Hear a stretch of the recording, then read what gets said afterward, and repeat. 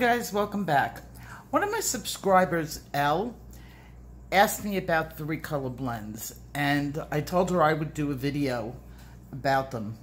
Now I've, I've addressed this in the past, but it's always good for review. And I also came up with 15 brand new three color blends that actually work and won't turn to mud. So let me explain the process of how to do a three color blend and then we'll go on to um, me giving you the blends that I had done for you. So here you have your primary colors, your red, your yellow, and your blue. Every color that exists is created by blending these three colors. So you have your red and your yellow, and then you have something called secondary colors, and that would be your orange, your violet, and your green. So your red and your yellow make the orange. We learned this in primary school. Your red and your blue make your violet or your purple. And your yellow and your blue make your greens. When it comes to uh, three color blends, everything that combines the red, the yellow, and the blue together will make brown. And when a color looks good together, it creates less brown. And by brown, I'm calling it mud. And why am I calling it mud? Because it's not attractive. Now, unlike paint, we don't have the ability to completely blend up a pencil.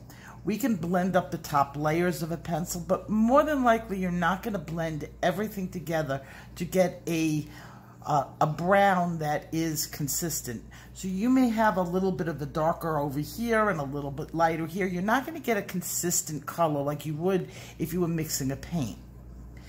So it's better to use the browns that are provided, and those are the umbers, the siennas, the chocolate, the um, the burnt ochres, those colors that are pro provided by the companies that create the uh, pencils.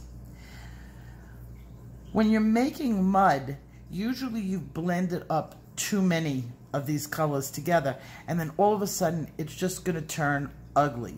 When you think you're really going to get, I mean, you, you mix two colors that you think is going to turn something completely different, and I'm going to show you why. So here you have your tertiary colors. Your tertiary colors are you are created by blending your secondary colors. So you have your primary, your secondary, and then when you start blending in in between, you're going to have your tertiary colors. So here you have a yellow and a green. You're going to get a tertiary color that's in between the yellow and the green.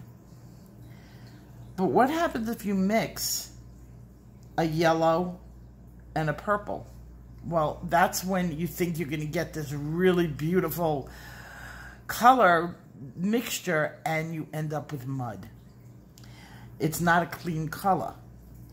So there are certain certain colors that you want to just try to avoid to keep your, or use them in small amounts and in the proper places because there are times that you do want a muddy color. In a small area, you're doing uh, a landscape, it's perfectly okay.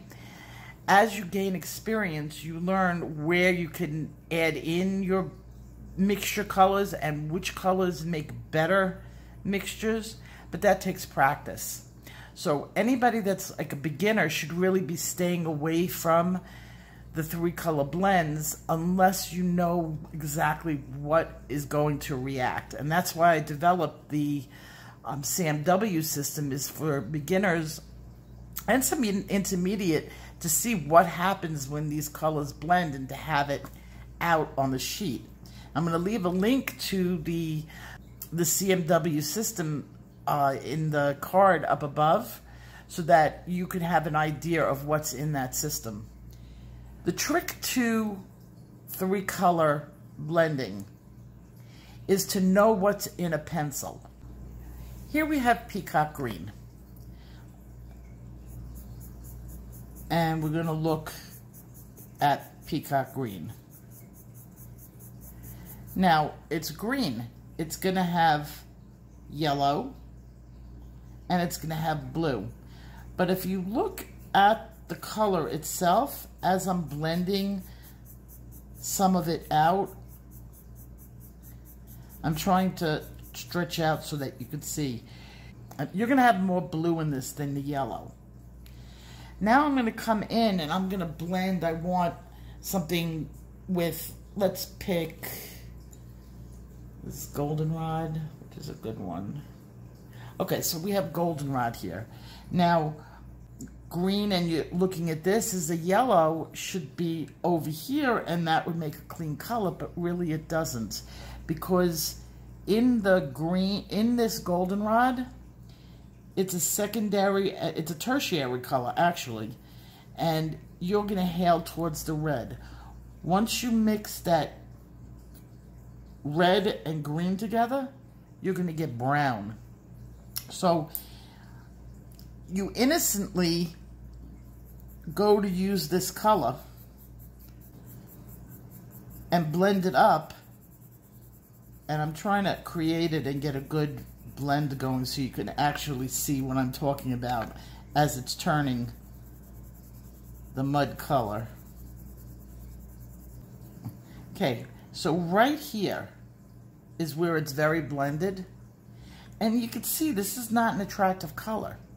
This is not a a, a burnt ochre or it's not a chocolate. It's not a solid brown. Here I have a dark brown that you can compare it to. So it's a brownish color, but it's not a clean brown. It's not a pretty brown. So those are the things that you want to avoid when you're doing three color blends. You don't want to make mud. And that happens when you're mixing your tertiary colors and you start going completely across the color wheel. So that's the premise behind your three color blend is to avoid making the mud. And as I said before, that's why I developed the color system is so that you don't hit that mud stage. So what I've done now is I've taken 15 different combinations and put them together so at least you have a a base that you know that this these three uh, pencil combinations are safe. And if you look at what they're created using, you'll see that they're the safe colors. Now, what do I mean by safe? Analogous colors. If I mix this with this with this, three colors perfectly aligned on the wheel, it's safe. If I mix this, this, and this, we're safe. If I mix this, this, and this, we're safe. So I'm going to show you the 15 new color combinations. They're real pretty. They're all safe to mix and they could be added to um, your three color blends on your paperwork. Let's begin the color blending.